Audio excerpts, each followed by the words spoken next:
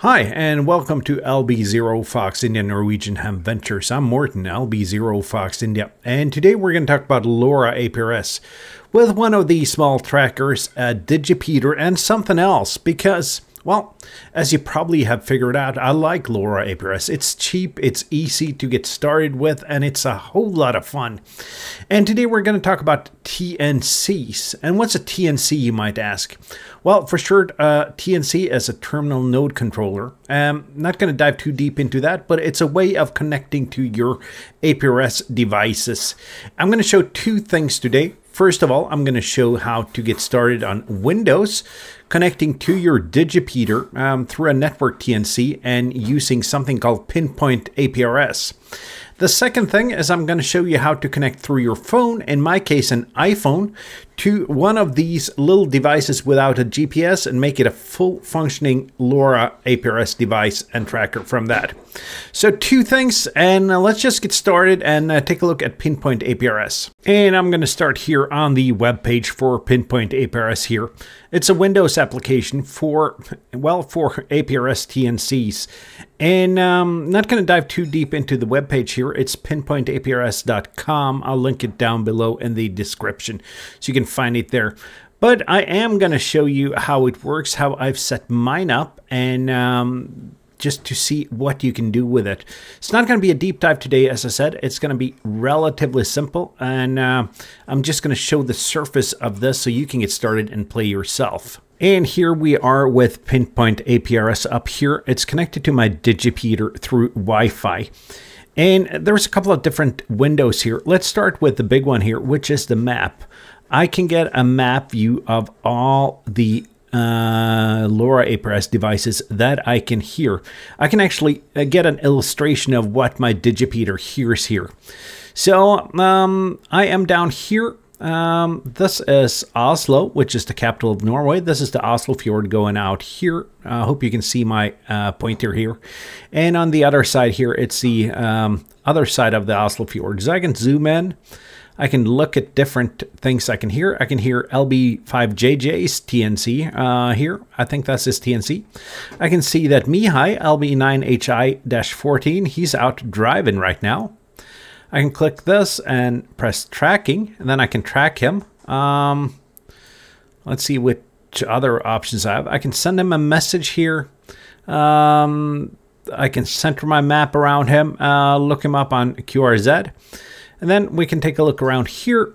We have a couple of digipeaters here. We have LB0 FI-10, which is my digipeater, which I am connected to. Let's just zoom in a bit further here.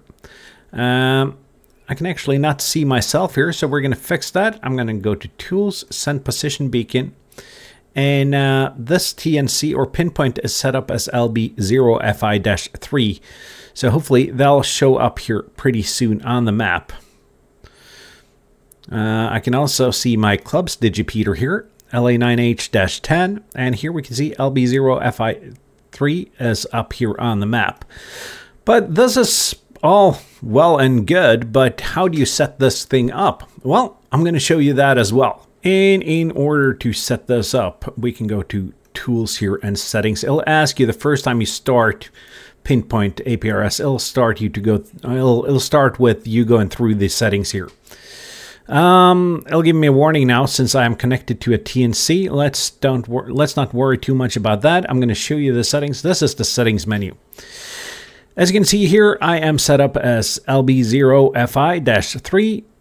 I have my APRS path as wide 11, wide 21. This is good. I have my house because this is, of course, always at home. It's in my shack computer. Uh, no digipeating turned on because the digipeater figures that out of itself. Uh, beacon every 30 minutes. Um, there's no GPS connected here, so this is just leave much of these settings as they are. As with TNC, you need to know one thing. You need to know the IP address of your device. And the network TNC will only work if you set your device up as a Digipeater iGate. Um, it will not work if it's set up as a tracker, uh, just so you know that. Uh, we're going to go through that tracker bit on a phone in just a little bit. Um, network KISS mode, uh, you can see here a lot of different options. We're going to choose network kiss mode. We have my IP address here, which is 192.168.66 uh, sorry, 6866. Not that that's important to you. If you're wondering what your IP is, it will show up in the display of your Digipeater.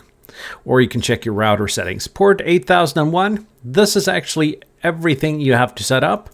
Uh, you can also set it up for um, APRS IS. I don't want to have it set up for that because I want to keep this um, just seeing what my Digipeater can hear.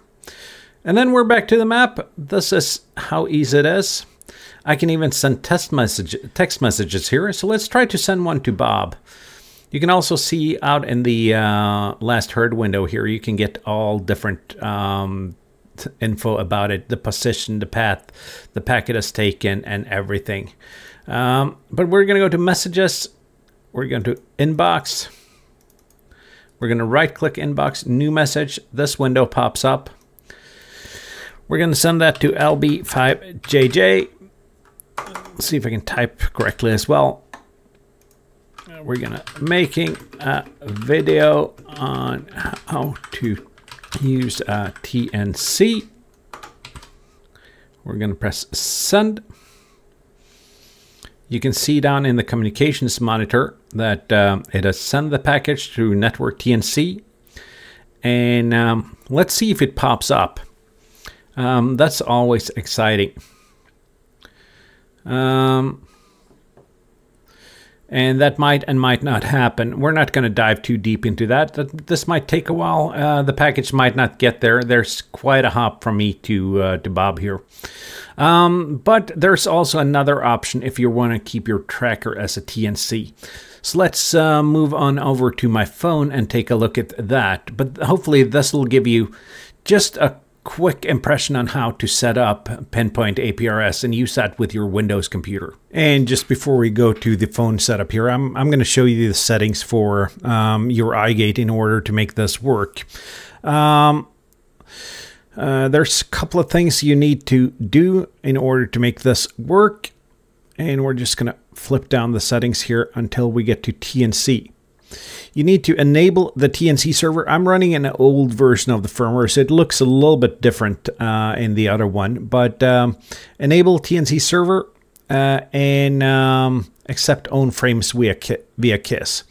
And then it says server will be available at uh, port 8001 that's the thing you got to do in order to be able to connect to this. So uh, keep that in mind. You need to turn the TNC on on your DigiPeater and uh, enable network TNC.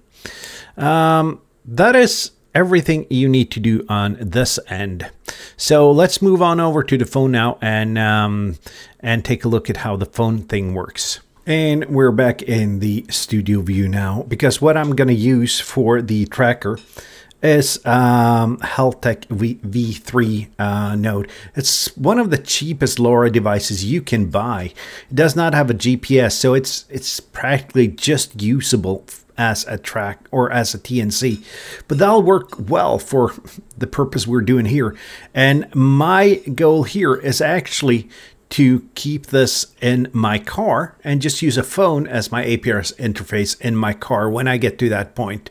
Um, but let's um, get the phone up and running and uh, I'll show you on the phone what I'm doing there. And on the phone here, I have uh, APRS.FI turned on. And the reason I'm looking down is because my phone is down here. Um, so let's go out to the map where everything starts. Uh, we're going to press more and I'm going to go back. Uh, then we go to TNC and DSP modem. Gonna press select a TNC or software modem. You can see that it finds my uh, LoRa tracker. Click that one and we're connected to the TNC. Then all the packages will start popping in here. Uh, what you see here is, of course, uh, packages received earlier on it. A um, couple more things you need to do. Um, we're going to stop tracking on that one. And we're going to just sort the map here. Uh, press the funnel icon and do not sort network. That way we only get what the TNC itself hears. That is important. And um, You can see that I see a lot of the same packages here. It's been running for a while now, so uh, we can see some of the uh, different stations here. Um, you can also do messaging here. I am just going to send a message to the um, to the APRS, um, the pinpoint APRS on my computer so we can review that message later on.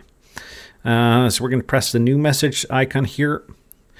We're going to set that, send that to LB0FI dash 3. Um, and we're going to, down here it says transmit using automatic. We're going to use transmit using TNC. And we're just going to send test, press send, and then we're going to switch back to the pinpoint APRS uh, window in just a little bit to see that that's received. And we're back at the pinpoint APRS window here now. Um, we're going to just go into the inbox and got two new messages. Got one from Bob here, and that's received over APRS IS, not over RF. Okay, it went out to the internet to reach Bob here. Um, that's good. We still got the message though. And then we have the message I sent, and it just says test. Uh, we can also see the path of the messages here, uh, where that has gone. So this is a tool that gives you uh, lot of insights on how APRS actually works. And you can also see the map window here. And just a little while I've been doing other stuff. It's populated with a lot of different stations here. So this will show you in real time uh, how this works. Um, we're going to go back to the phone just a short little bit here because I am going to show you uh, just the call sign settings and such in APRS IS and then we're going to conclude a little bit. And in order to do this, we're going to go down to the phone again. Uh, we're going to press beacon and uh, under beacon here, uh, you can set your call sign here. Uh, you can set your station ID. Uh, you can set your symbol and that's pretty much what you need to do. And then your packet path here. Uh, I can also press beacon now, and this is going to send a beacon, and um, well, it's going to show up on the map. So let's go on over to the uh, pinpoint map once more and take a look at that. Uh, let me zoom in here. And we have the LB0FI-4 here. So um, that's pretty much how easy you do it. So, what do you think? What do you think about doing APRS this way instead of the traditional way of using it through your device? I find this as a nice option, especially at home, to actually visualize what my what my digipeater hears. Uh, which gives me a good visual indication of the coverage area. It is also nice to just gonna, so you just can leave a tracker in your car and um, uh, just use your phone as a device. It's so much easier to send messages and look at the data, look at the map, look at everything through your phone than in the tiny, tiny, tiny display of the uh, unit here. So, um, yeah, um, I got to give the TNC solution a huge thumbs up, and thanks to LB5JJ Bob for showing me how to do this. This has been on my list for a while, um, but I haven't really figured out the quirks of it until Bob did a walkthrough with me, and I hope, a little bit unstructured, but I hope I still got still gave you a bit of an idea on how to do this. So go ahead, go out there and experiment. I'll leave some affiliate links for a couple of LoRa boards. Uh, the boards I've used for this, both for my uh, Digipeater and for the TNC tracker. Uh, I'll leave that in the description. Um, I'll get a little bit of a cut from it. Uh, it'll help run the channel and uh, you'll still pay the same. And I guess that's it for now. Don't forget to click that thumbs up button if you like this video. If you, for any reason, dislike that video, click that thumbs down button. That'll also help the algorithm and it'll help me understand what content you like and don't like. Do consider subscribing and I also have memberships available. Until next time, my friends, see you down the bands. See you in my next video, 7-3.